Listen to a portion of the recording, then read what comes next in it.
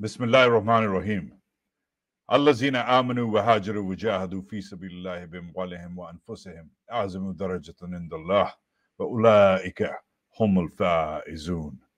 Those who have believed, emigrated, and strive in the cause of Allah with their wealth and their lives are greater in rank in the sight of Allah. It is they who will triumph. Assalamu alaikum.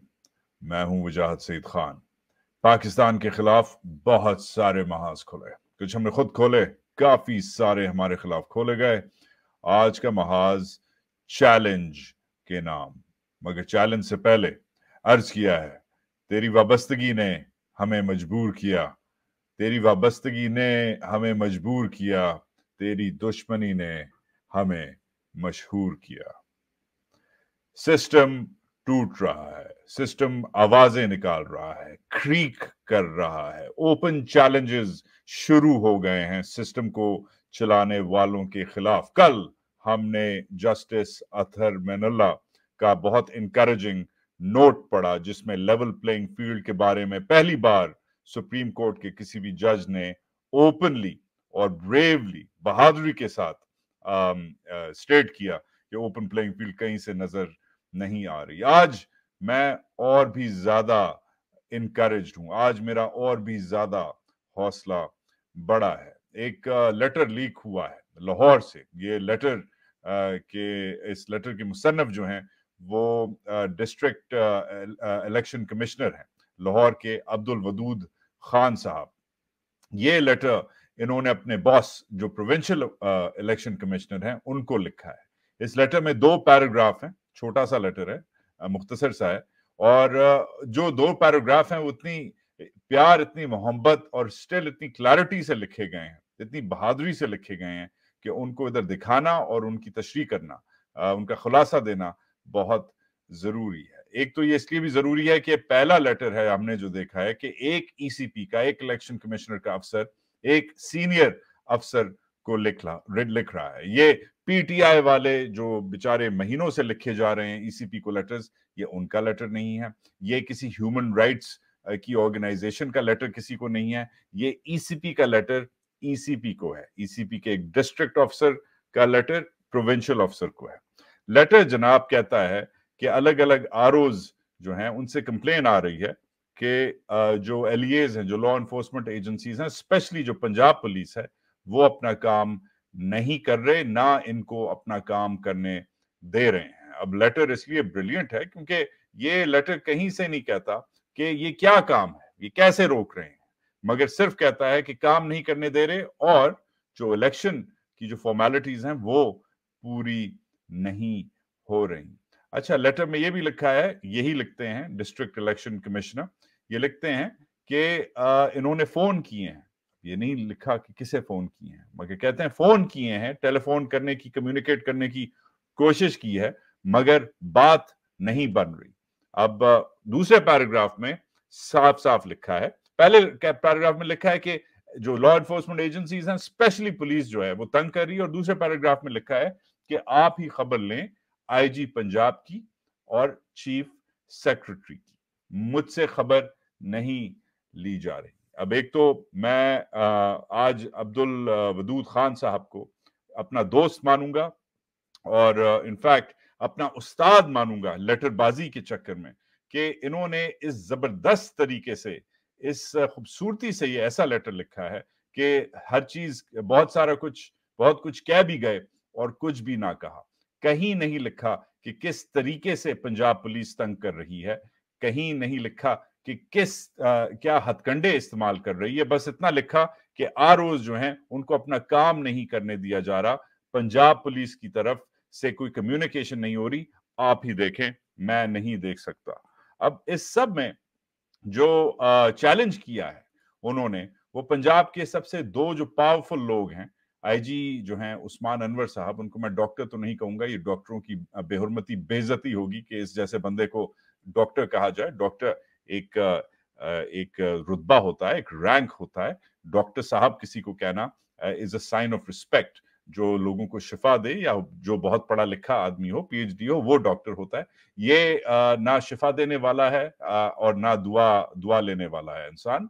मगर anyways Usman Anwar जो IG हैं और जो chief secretary हैं जाहिद अख्तर जमान, इन दोनों को इन्होंने challenge किया है। बगैर इनका नाम लिए मगर सिर्फ़ इनके इनके जो डेजिग्नेशन है वो लिखी है। आ, मैं चैलेंज करता हूँ उस्मान अनवर और जो ये जो चीफ सेक्रेटरी है जाहिद अख्तर जमान कि ये यही यही दोनों जो इस वक्त पंजाब चला रहे हैं ये खैबर पख्तूनख्वा का ट्रांसफ़र ले लें। ये जाएँ और पेशावर का ट्रांसफ़र ले लें और ये कोशिश करें ये ट्राई करें कि ये जो हरकतें जो पंजाब में ये लोग कर रहे हैं ये I challenge you to try to do this in Khyber Pakhtunkhwa आप करके तो देखें।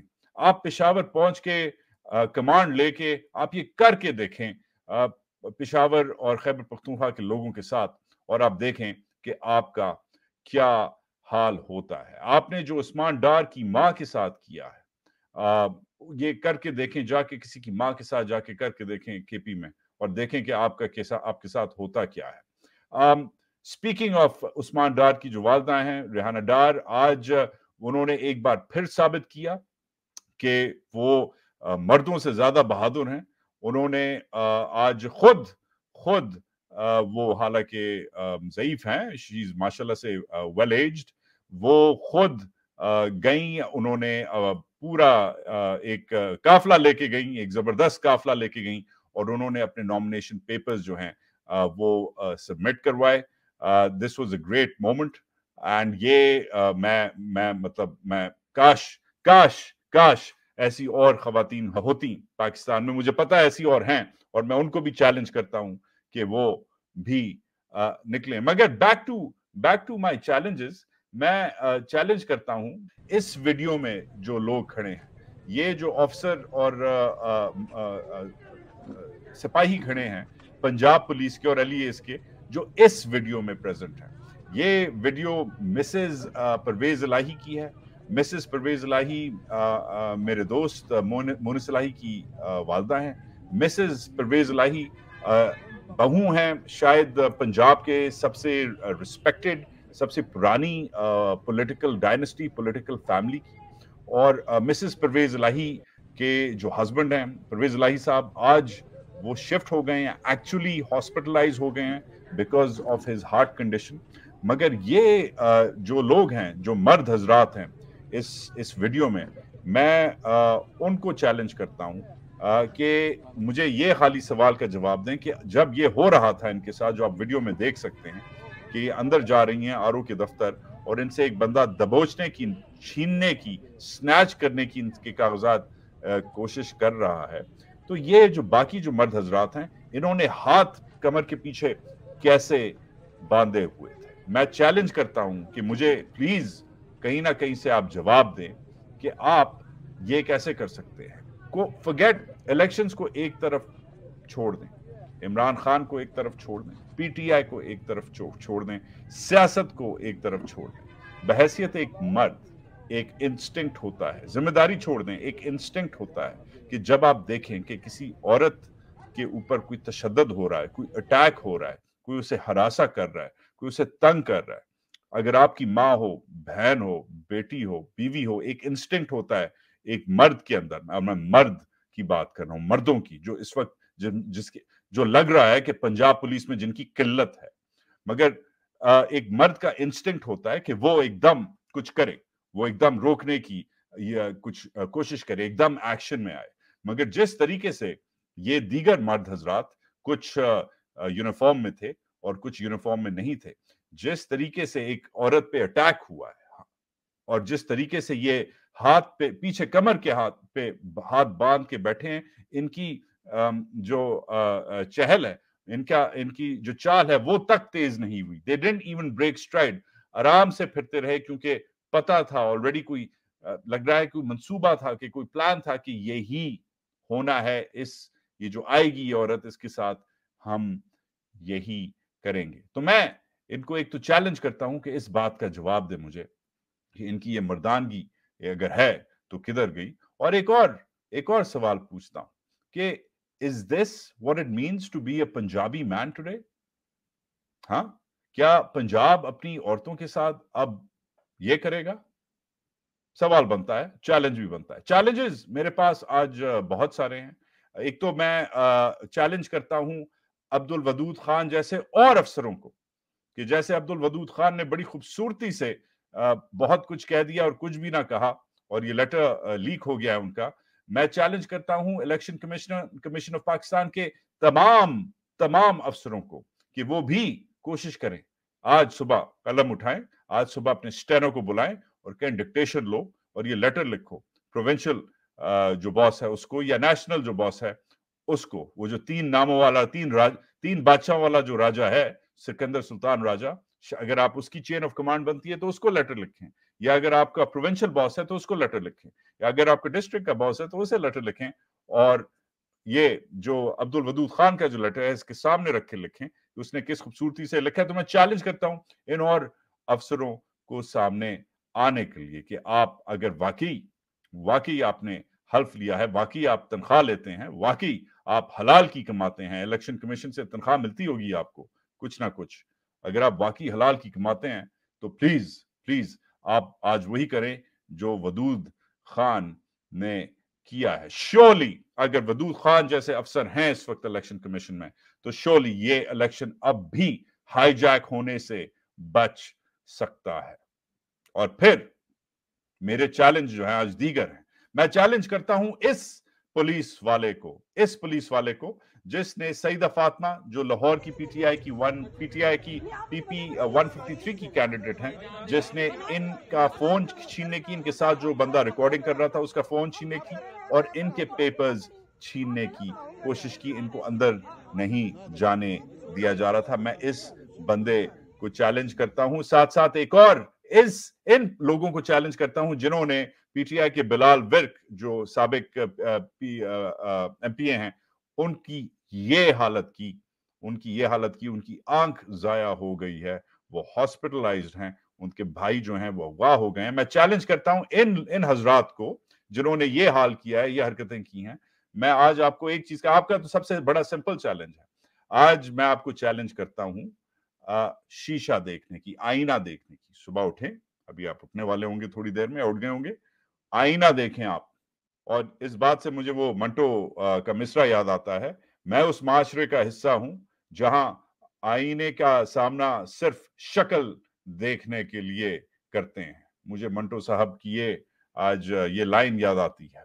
मगर चलते चलते अब बलोचिस्तान के के दो दो हाथ बलोचिस्तान के साथ हो जाए जो बाय द वे मैं क्लियरली बता दूँ सबको मैं बलोचिस्तान का हूँ। मैं बलोच नेशनलिस्ट कहीं से नहीं हूँ ना मैं बलोच हूँ मगर मैं बलोचिस्तान का वासी हूँ बलोचिस्तान में पैदा हुआ हूँ और बलोचिस्तान में दफन हूँगा ये मैं आपको क्लियरली बता दूँ। मगर मगर बलोचिस्तान के साथ मेरी पर्सनल अगर आप, वाबस्तगी अगर आप साइड पे रखें तो मैं पूरी जो स्टेट है पाकिस्तान की, सिविल और मिलिट्री जो मशीन है, उसको मैं आज चैलेंज करता हूँ कि ये ये जो अल्फाज हैं, ये जो अल्फाज हैं, इनसे बेहतर, इनसे ज़्यादा कंसाइज इनसे ज़्यादा इम्पैशन और इनसे ज़्यादा सच अगर वो अपना बयानिया दे सकते हैं तो फिर मेरा चैलेंज वो एक्सेप्ट करें।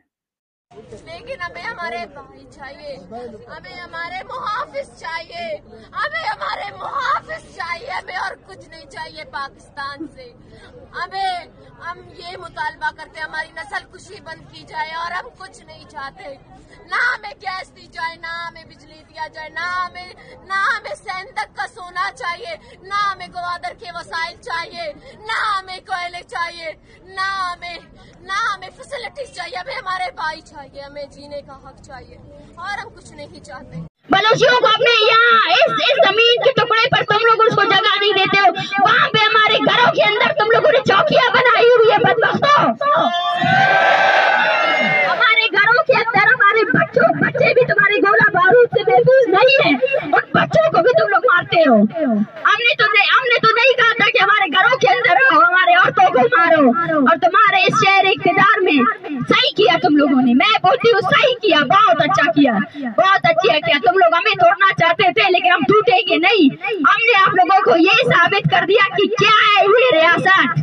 ये रियासत जब अनीसा से डर सकती है, जो अनीसा अपने चौदह साल से लापता बाप के लिए निकली है, ये रियासत।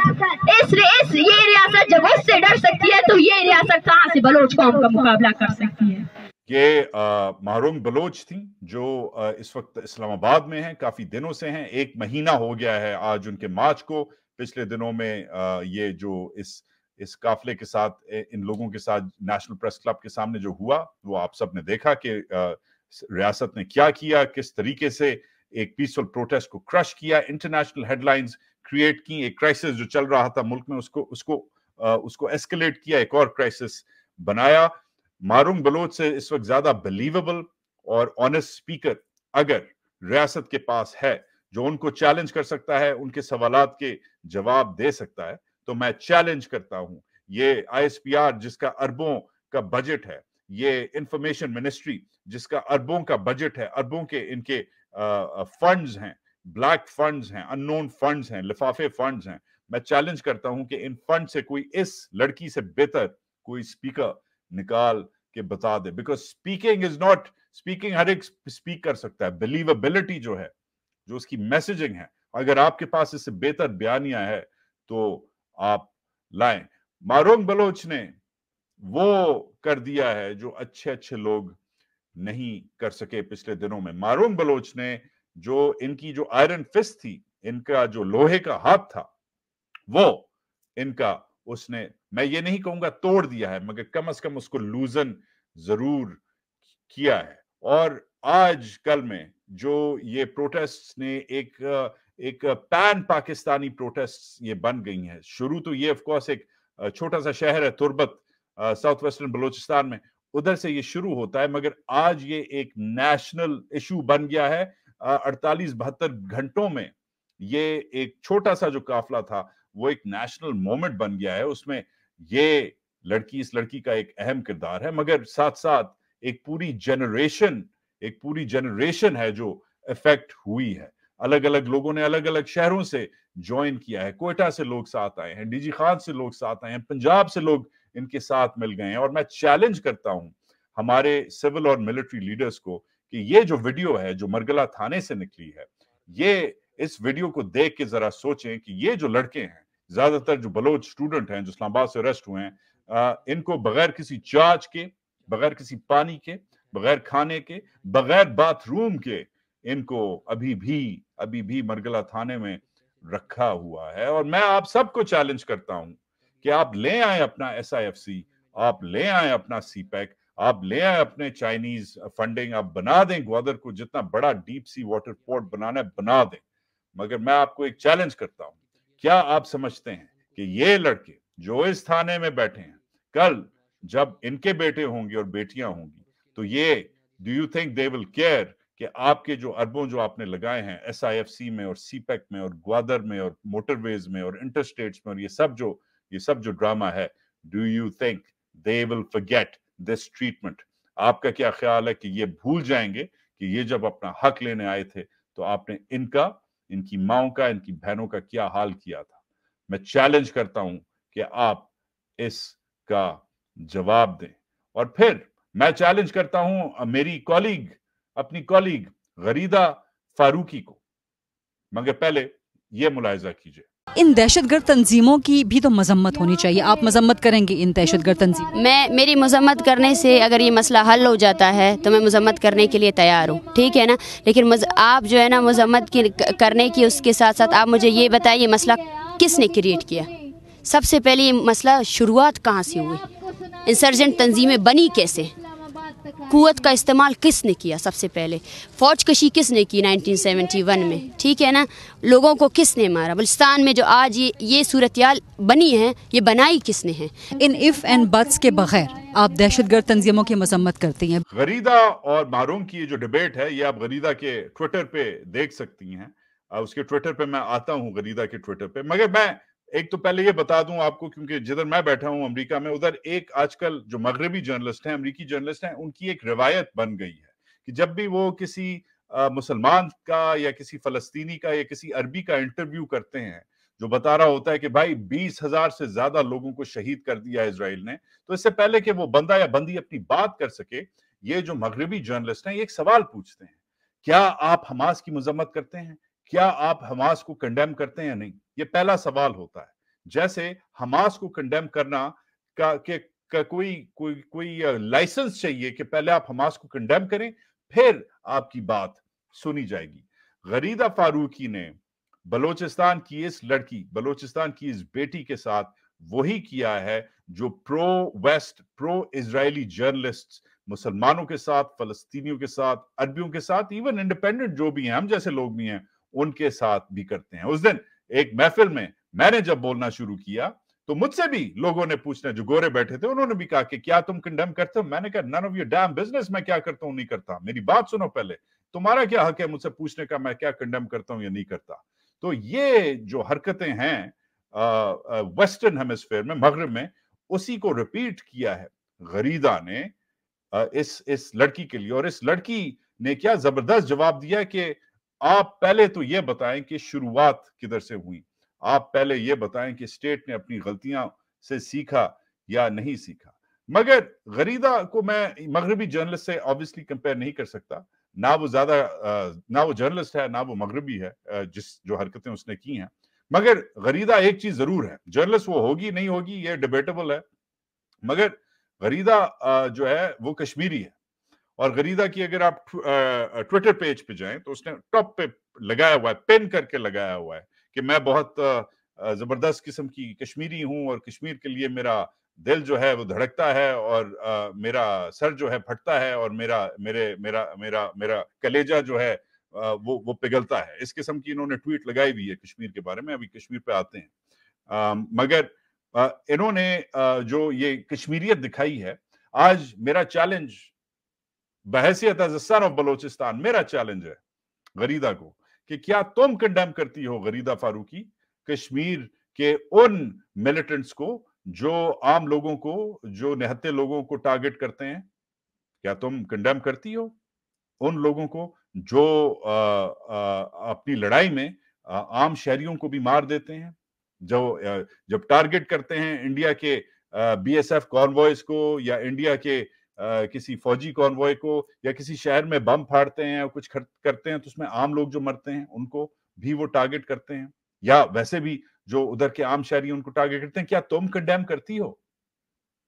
या तुम्हारा जो नैरेटिव है, वो वही नैरेटिव है, जो पाकिस्तान का, पाकिस्तानी रियासत का जो नैरेटिव है, जो एक स्टेट बैक जो एक नैरेटिव है कि कश्मीर का जिहाद होगा एट वट एवर कॉस्ट होगा। क्या तुम्हारी पोजीशन नुआंस्ड है जो तुम इस लड़की को बेचारी को कह रही हो कि तुम मजम्मत करती हो नहीं करती? जैसे इधर इसराइल के टट्टू करते हैं। वैसे तुम इस लड़की को जो पोजीशन में पॉइंट ऑन द स्पॉट डाल रही हो क्या तुम बहसियत कश्मीरी uh, कश्मीर में हर किस्म के खून खराबे uh, को एक्सेप्ट करती हो?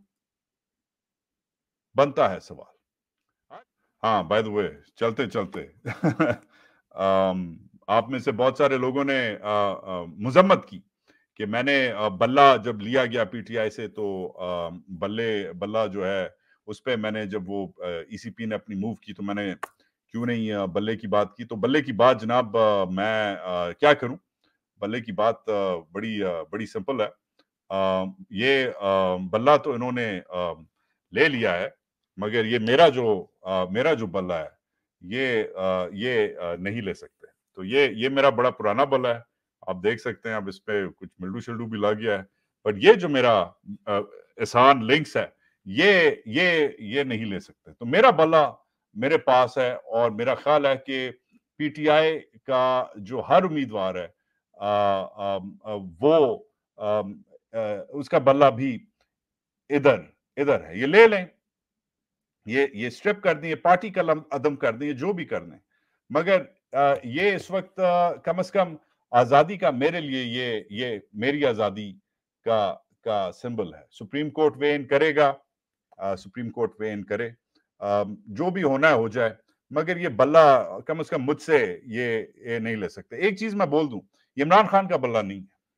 मैंने आज तक वोट नहीं किया किसी भी इलेक्शन में। मैं नहीं समझता बहसियत एक जर्नलिस्ट के जर्नलिस्ट को जजेस को और फौजियों को वोट करना चाहिए। ये बहुत पुरानी एक यूएस सुप्रीम कोर्ट की, का एक जज था, उसने ये बेन किया था, उसका ये ओपिनियन है कि जजेस, generals and journalists shouldn't vote.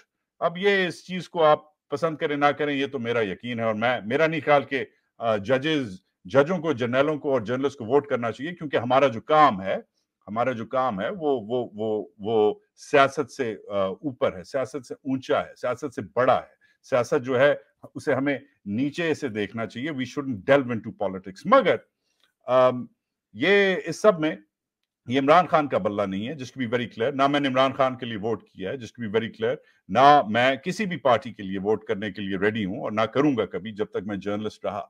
मगर वेरी इंपॉर्टेंटली ये जो है, मेरा जो बल्ला है, ये is symbol of my right to retain my freedom और ये साइन आपसे ले सकते हैं, मगर आपका बल्ला जो है, जो इधर है, जो इधर है, वो आपसे नहीं ले सकते। तो अगर आप पीटीआई के उम्मीदवार हैं आप बिल्कुल कैंपेन करें। जैसे भी आपकी पार्टी आपको बताती है कि बहसियत एक आज़ाद उम्मीदवार कैंपेन करो जो भी आपको निशान मिले आपको कल बत्ती मिले चैनक मिले एनक मिले जो भी निशान मिले मगर आप एक चीज़ याद रखें कि ये जो है ना ये ये जो है ये उस बंदे की जिसका नाम इमरान खान है और उसकी पार्टी की ये निशानी है। ये उसके करियर को भी आ, की भी निशानी है क्योंकि वो वाहिद आज तक वाहिद वर्ल्ड कप विनिंग कैप्टन था उसने ज़बरदस्त मेरा ख्याल फोर्टी नाइन बनाए थे पता नहीं कितने बनाए थे उसने अपनी आखिरी इनिंग में। मगर ये आपकी आपकी आज़ादी का सिंबल है ये इलेक्शन सिंबल नहीं है।